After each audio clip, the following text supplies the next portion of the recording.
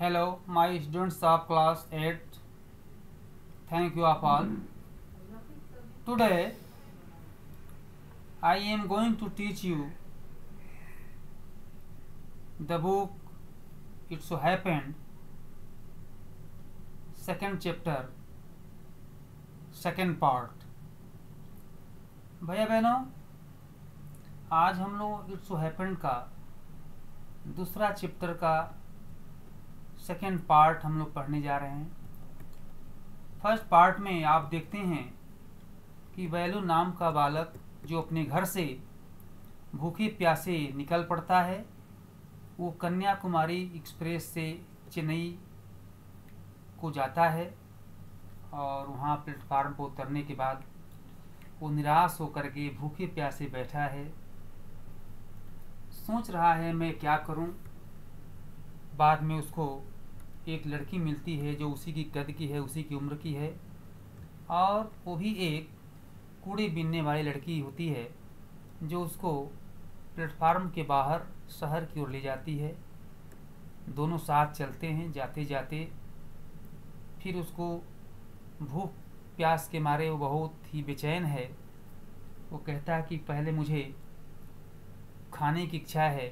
वो लड़की कहती है कि तुम इस प्रकार से बैठे बैठे रहोगे, ऐसे रहोगे तो भोजन कैसे मिलेगा? इस प्रकार से वह लड़की उसको शहर की ओर ले जाती है और यहीं तक फ़र्स्ट पार्ट हम लोग स्थगित किए थे।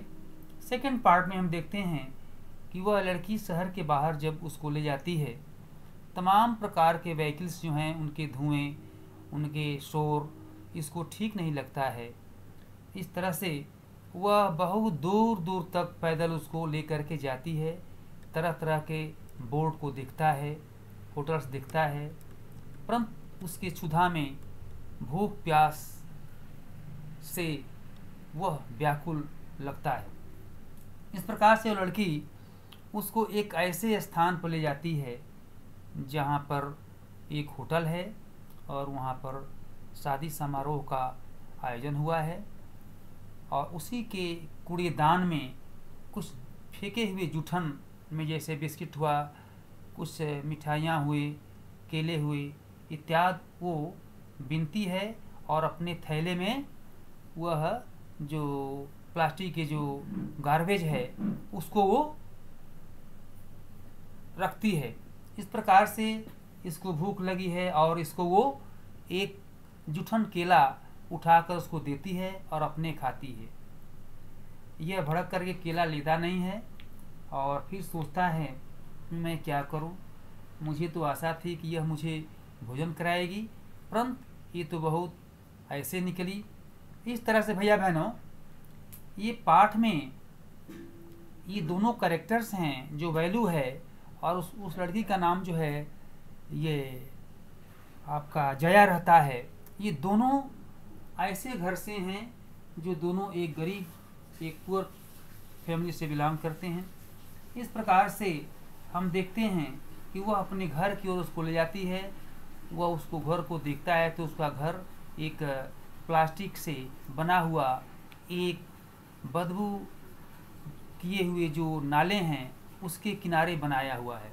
इस प्रकार से भैया बहनों, यह पाठ जो है, यह लेसन जो है, इस प्रकार से कहानियों से परिपूर्ण है। इसको हम लोग लाइन बाय लाइन देखेंगे, ठीक से पढ़ेंगे। तो हमको और समझ में आएगा और एक बार हम पुनः इसको पढ़ेंगे, तब जा कर के क्लियर हो पाएगा। Letters we start this lesson second part ठीक से देखेंगे। Velu follows his friend through the crowded street to a big building behind the building there is a big garbage bin Velu wonders why they are there at all.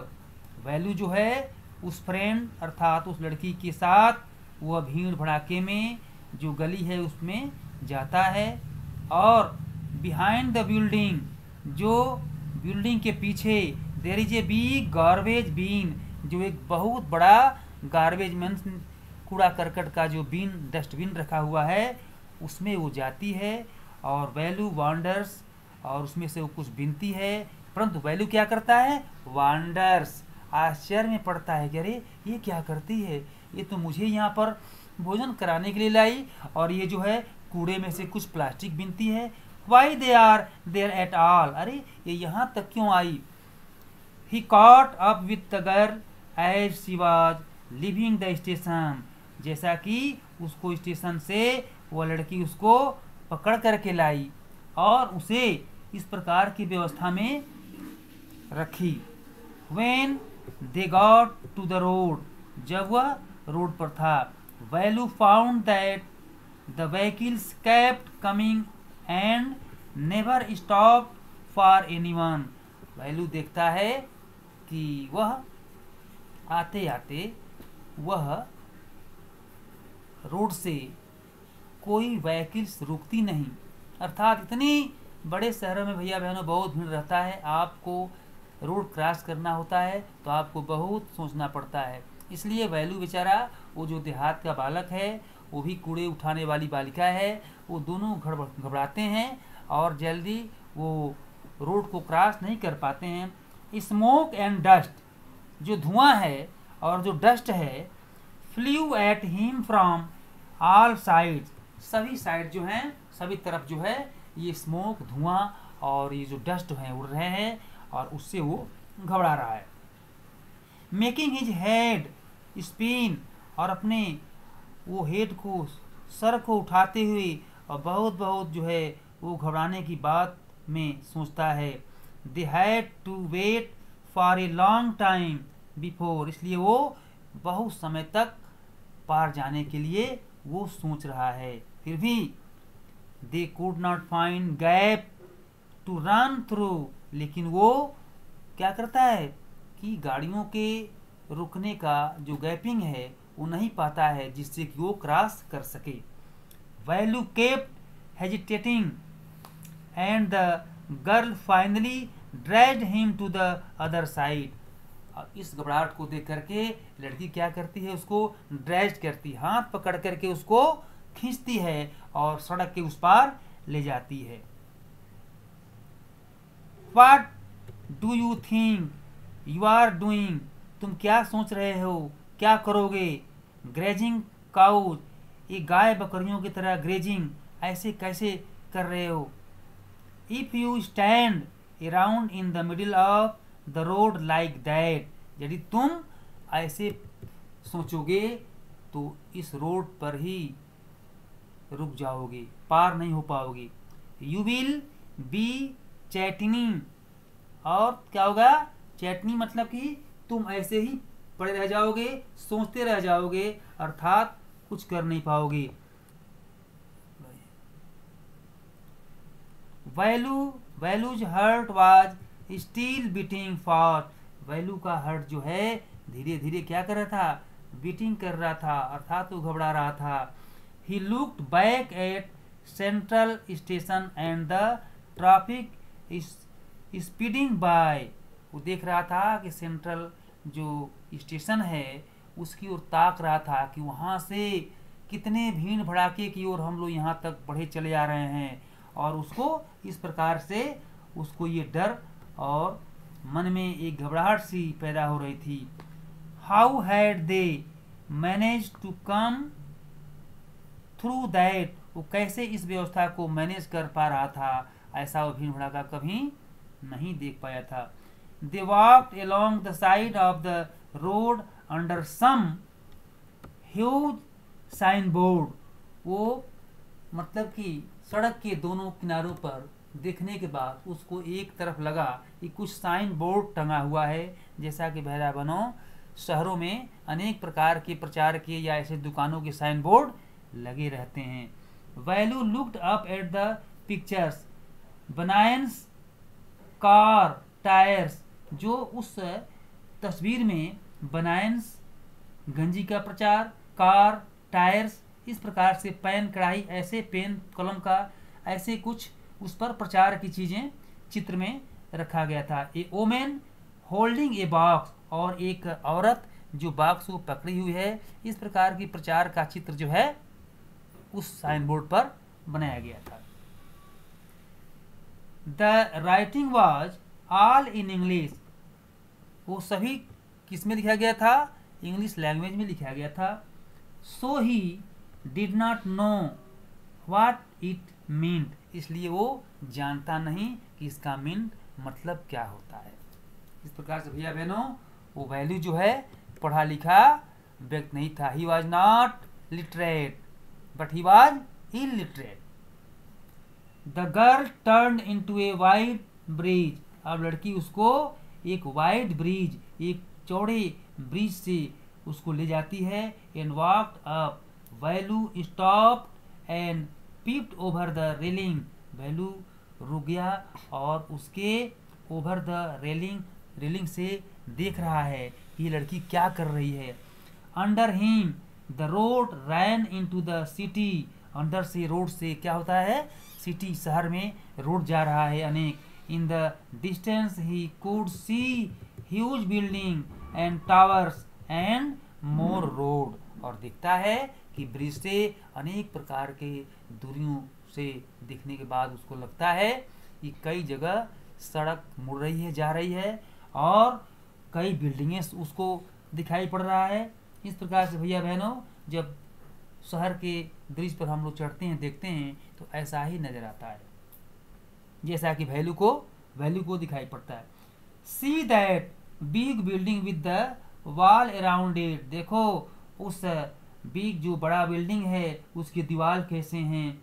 If you are not careful तुम इसको ध्यान से नहीं देख पाए। You will soon be counting bars there तुम इसको यहाँ गिनती करो, ये कितने हैं?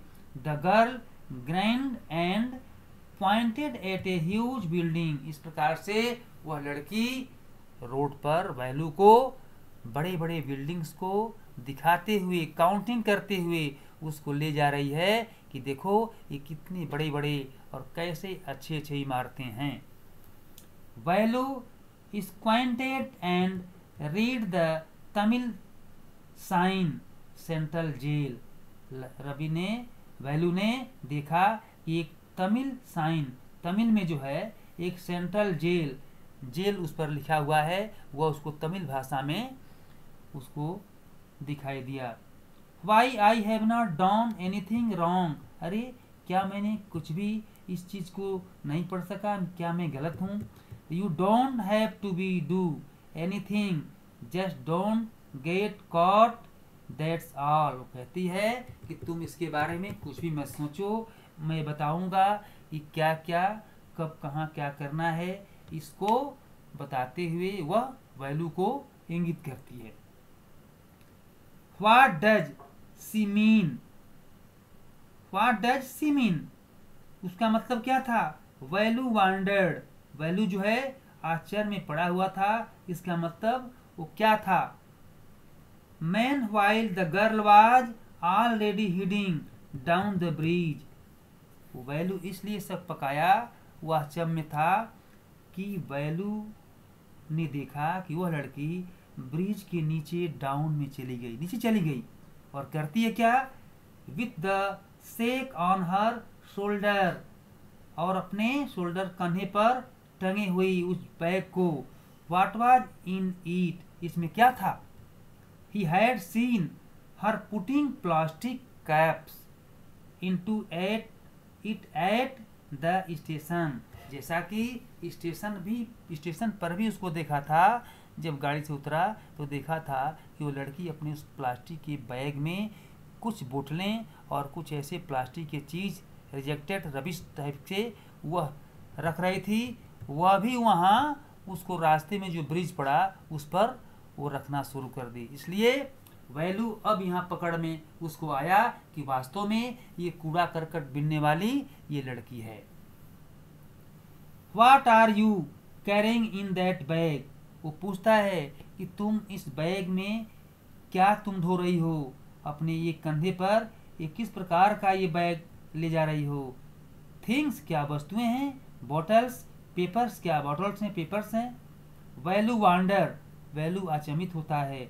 What she was doing with them वो क्या कर सकती है? But she felt shy to shy मने वह जो है, शर्म करता है। टू आस्क उससे पूछने में एनी मोर क्वेश्चंस और वैल्यू जो है, उसके बारे में अत्यधिक क्वेश्चन करना, ये शर्म करता है कि अब क्या मैं उससे ऐसे कहूँ, क्या तुम कूड़ा करकट बिनने वाली लड़की हो? इस भाषा में वो बोलने के लिए नहीं चाहता है।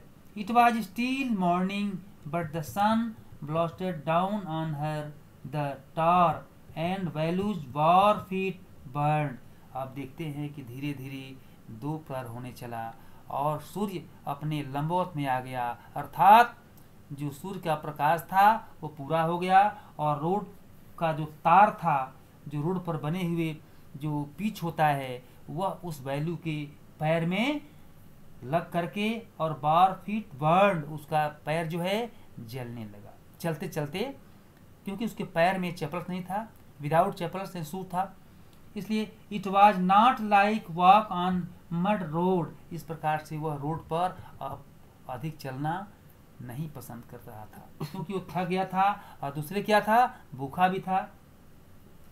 He was soft with swept इसलिए वो सॉफ्ट बिस्म पड़ गया स्वेप्ट पसीना बहा रहा था।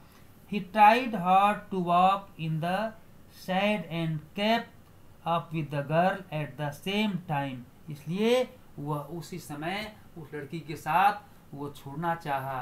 परंतु बेचारा करे क्या? वो तो अनजनवी था। उसके साथ कोई दूसरा व्यक्ति नहीं था। इसलिए वो सोचता है सी वॉक रियली फास्ट इसलिए वो लड़की क्या कर रही थी? She walk really far. वो वास्तव में तेज़ी से जा रही थी। How far away was the food? तो क्या कहता है उससे, how far away was the food? अब भोजन कितना दूर है? भैया बहनों, वो तो बेचारा केवल उसको भोजन चाहिए था और लड़की अपने काम को करती हुई, गार्बेज से कूड़े करकट को बिनती हुई, प्लास्टिक को, वो अपना काम कर रही थी। और ये बेचारा फिर वो तेज चलने के बाद पूछ रहा है कि अभी भोजन कितना दूर है? इट इज़ क्लियर सभी आप लोग समझ रहे हैं ना? ध्यान पूर्वक देखिए। After almost an hours of walking कुछ समय टहलने के बाद they stop in front of a big building वे लोग एक बड़े बिल्डिंग के सामने रुक गए, जिसका नाम था श्री राज राजवेश्वरी और प्रसन्ना कल्याण मंडपम रेड। अब देखिए, वैलू स्लोली। वैलू ने धीरे धीरे चलते हुए उसको पढ़ा कि इस बिल्डिंग का नाम जो है श्री राजेश्वरी प्रसन्ना कल्याण मंडपम उस बिल्डिंग पर ऊपर में लिखा हुआ था। A sign with letters made of flower said और एक चिन्ह और जो letters made of flower said groom and जीवी banyan bride Ronnie and Velu started at the big cars, parked and outside. Outside में देखा कि वो एक पार्क उस बिल्डिंग के सामने लगे हुए हैं और उस बिल्डिंग के सामने पार्क में एक कार को देखा, जिसमें कार की सजावट हुई थी। और क्या था? ग्रूम एंड ब्राइड ग्रूम दुल्हा दुल्हन की वो कार थे, जिससे कि उस लोग देख लिए तो समझे कि अब ये लड़की हमको इस बिल्डिंग में, अब जो कार्यक्रम होगा उसमें हमको भोजन कराएगी। One of the cars had flowers. One of the cars, एक कार से flowers garland and rose. Tapped into it वो लड़की निकालती है और अपने रोज में अपने वो बाल में लगाती है। The girl looked around pulled one of the quickly and stuck in in her hair और एक उसमें से फूल निकाल करके और अपने बाल में लगा लेती है। कम ऑन और क्या कहती है? कम ऑन आओ आओ सेड सी सेड वो कह, कहती है। Are you are we going to eat here अब हम लोग यहाँ खाना खाने जा रहे हैं। तो भैया बहनों, उसको कहाँ ले जा रही है? आप देखते रहिए। आस्ट वैल्यू वैल्यू ने पूछा looking at the huge hall and the people inside वो दिखाती है, एक बड़े हॉल में लोग उसके अंदर पड़े हुए हैं, अपने कार्यक्रम मना रहे हैं और वहाँ वो उसको झकाती हुई, दिखाती हुई ले जा रही है। आप देखती है हॉप्स या आशा से set the girl seeking her thumb under his nose उसके नाकों की सामने वो अपने थम को अंगूठे को दिखाती हुई, वह जो है, उसको एक उपहास करती है कि तुम ऐसे रहोगे तो कैसे खा पाओगे। भैया बहनों, शहरों में लोग कभी कभी अच्छे कपड़ा पहन करके कोई किसी के कार्यक्रम में जाकर खा लेता है। इस प्रकार से she led him behind the hall वो क्या करती है? हॉल के बिहाइंड पीछे ले जाती है। There was a big garbage in overflowing with rubbish एक बहुत बड़ा, एक गार्बेज का एक जो स्थान था, वहाँ उसको ले जा रही है। टू गोट्स वेयर स्टैंडिंग जहाँ पे टू गोट्स दो बकरियाँ were standing on the pile एक ढेर पर खड़े होकर के और कुछ चबा रही थी, खा रही थी। Fighting for a banana leaf और एक केले लिप एक केले के लिए जो जुठन केला था, उसको खाने के लिए फाइटिंग कर रही थी। एक क्लाउड एक क्लाउड ऑफ़ फ्लाइज वॉज्ड एक मक्खियों का झुंड उस पर लगा हुआ था अराउंड देयर लेग्स और उसका जो चारों ओर जो जो गैरबेज पर जो उसके पैर थे। There was a, rotten smell in the air और हवा में बदबू जैसा स्मेल हो रहा था। The girl picked up a quickly quaxly banana and held it out to Velu एक जो है आधे जुठन का जो बनाना उसको उठाती है और उसको वैल्यू को देती है। हेयर इज़ योर फ़ूड और क्या कहती है? कि हेयर इज़ योर फ़ूड यहाँ तुम्हारा भोजन है। Velu was soft well Velu जो है सॉफ्ट हो गया उसको। बहुत आश्चर्य में पड़ गया। ये क्या कर रही है? Are we going to eat their leftovers क्या इसको हम लोग छोड़े हुए, ये जो जूठन है इसको हम लोग खाएँगे? चीग what do you think I am तुम क्या सोचते हो कि मैं क्या हूँ? ये डॉग, ये कुत्ता I only take untouched food कहता है कि मैं अनटच जो है, ये फ़ूड को इस प्रकार से नहीं खा सकता। हेयर सम मोर आओ यहाँ कुछ है जो देखो कैच इसको पकड़ो। सी थ्री हिम ए क्या? वेदा and Velu looked at it with distance तो देखती है कि वो वैल्यू को फिर दूसरी गार्बेज को ले जाती है। जहाँ की उसको फिर कुछ खाने का पदार्थ दिखाती है और वहाँ उसको ले जाती है। कमान, हीरो हीरो कहती है। यहाँ वो हीरो, अब उस पर जो है, वो उसको अब बनंतु बात में कहती हैं, कम कम आन हीरो, यहाँ आओ हीरो, ईट, आओ खाओ ईट, इसे खाओ, इसमें देखो क्या है। You think I like it you think तुम जो सोच रहे हो आई लाइक इट मैं इसको पसंद करता हूँ कि तुम इसको खाओगे। I told you I shall find you something to eat मैं तुमको खाने के लिए मैं यहाँ इसमें से प्राप्त कर सकता हूँ। Don't don't think I have money to buy food for you तुम यह मत सोचो कि मेरे पास तुमको भोजन खरीद कर खिलाने का पैसा है। ये मत सोचना। Buy phi buy food for you and you bet better eat what you get until you have your own money जैसा कि तुम्हारे पास भी पैसा हो तो तुम अपने पैसे से खरीद कर खा सकते हो। अन्यथा मेरे पास पैसा तुमको खिलाने के लिए नहीं है। वैल्यू हेजिटेट वैल्यू ने झुला गया।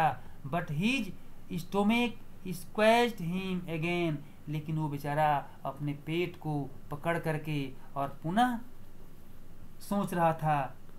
He gulped down the banana and weather वो वेदार बनाना को उसको देती है। His stomach felt better immediately वो उसका पेट जो है इमीडिएटली में शीघ्रता से कुछ भोजन मांग रहा था। He could have eaten at last ten times more क्योंकि वह जो है, इसको he could he could have eaten last least ten times more but the girl could find only one more banana which he ate herself जैसा कि वह अपने को भी एक ऐसे बनाना दी, जिसमें कि कुछ आधे से अधिक कम खा करके फेंका गया था, वही बनाना उसको खाने के लिए दिया।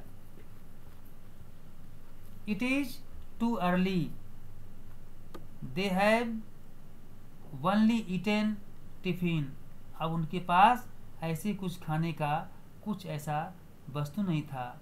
If you were still hungry जैसा कि वह भूखा हुआ था, शांत पड़ा था you will have to wait for them to finish lunch अब तुम वेट प्रतीक्षा करो for them to finish lunch कि तुम अब पूर्ण भोजन करोगे। You can wait if you want इसलिए जो तुम चाहते हो, उसके लिए तुमको क्या करना पड़ेगा? वांट चाहना पड़ेगा कि तुम अपने से कमा करके खाओगे या उसको तुमको प्रबंध करना पड़ेगा। जैसा कि मेरे पास उतना नहीं है। I have to work I have to work अब मैं, मेरे पास एक काम है। आई एम गोइंग कहती है कि मैं आई एम गोइंग अब मैं जा रही हूँ। She picked up a couple of bottles from the heap तो क्या करती है लड़की? कि अब उसको छोड़ करके और वो picked up a couple of bottles from the heap and threw it into her sack और अपने वो कपल्स को कपल ऑफ़ बॉटल्स बोतलों की जुड़े और जो कूड़े करकट हैं, जो प्लास्टिक के हैं उसको बीन बीन करके और थ्री इंटू हर सेक और अपने जो कंधे पर है, उसको जो रखी है झोले, उसने थैले में रखती है। देन सी वॉक ऑफ़ और इसके बाद वो वहाँ से चल पड़ती है। वैल्यू पैनिक्ड वैल्यू वैल्यू जो है हैरान होता है। ही रियलाइज़ वह महसूस करता है that if the girl left him यदि गर्ल लड़की मुझको छोड़ देती है ही हैड नो आइडिया तो उसके पास कोई और दूसरा विचार नहीं है। वो किससे पूछेगा? कौन उसको हेल्प करेगा? Where he was and what to do वो क्या करेगा यहाँ? It was better to stick to her इसलिए वो अपने को बेटर समझा कि मैं उसके साथ मैं पीछे पीछे लग जाऊँ और सी सिम टू नो और वो देखती है, प्रतीत होती है हर अवे अराउंड वो चारों तरफ़ घूमते हुए वो प्रतीत होती है और उसका पीछा ये करता है कि उसके साथ मैं लग जाऊँ। ही रैन आफ्टर हर अगेन इसलिए वह उसके साथ दोबारा लग ही गया। आ ही कॉल्ड वो कहते पुकारता है he did not even know the girl's name जैसा कि वह लड़की के नाम को भी नहीं जानता था। At I what what is your name कहता कि I what is your name तुम्हारा नाम क्या है? He asked hurrying behind her उसके पीछे जाकर के वो जल्दी से उसका नाम पूछता है। She stop and turn around वो लड़की रुकती है और उसके पीछे मुड़ करके देखती है। ओ so you have been following me around without even knowing my name कहता है कि क्या तुम इतने समय तक मेरे साथ आ रहे हो और मेरे, तुम मेरा नाम नहीं जानते? My name Jaya. मेरा नाम जया है। I am not following you I am not following you मैं वो I am not following you मैं अब तुमको इस प्रकार से नहीं व्यवस्था बताऊँगी। वाट दे तब क्या करें? हु गाट यू फ़ूड अब कहता है कौन? भोजन लाएगा can I come with you अब कहता है can I come with you क्या मैं तुम्हारे साथ चल सकता हूँ? वेयर आर यू गोइंग और तुम कहाँ जा रही हो? कहता है, कहती है कम इफ़ कम इफ़ यदि आओ यू वांट तुम चाहो तो। कहती है लड़की, यदि तुम चाहो तो मेरे साथ आओ, मैं कहाँ चल रही हूँ? दिस बैग इज़ फूल अब उसका बैग क्या हो गया है? प्लास्टिक और कप इत्यादि बटल बटोरने से फुल हो गया है, भर गया है। I have to go home to get another one अब मैं अपने घर जा रही हूँ और कोई दूसरा थैला लेकर के मैं फिर बोटल्स को इकट्ठा करने के लिए जाऊँगा। इस प्रकार से भैया बहनों, देखते हैं कि वह लड़की के साथ वैल्यू वहाँ तक रहता है सेकेंड पार्ट में, परंतु उसको अभी तक भोजन प्राप्त नहीं हुआ है। इस तरह से हम लोग थर्ड पार्ट को पढ़ेंगे। लेकिन थर्ड पार्ट आज हम लोग नहीं पढ़ेंगे, क्योंकि ये लेसन जो है, ये कुछ लार्ज है, इसलिए इसको हम लोग यहीं स्थगित करते हैं। इस लेसन का कुछ क्वेश्चंस आपको दिया गया है, इसको आप लोग होमवर्क में करेंगे और तब करेंगे जबकि आप इसको पढ़ पाएँगे।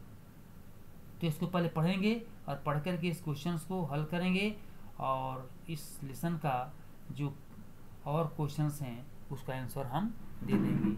Thank you very much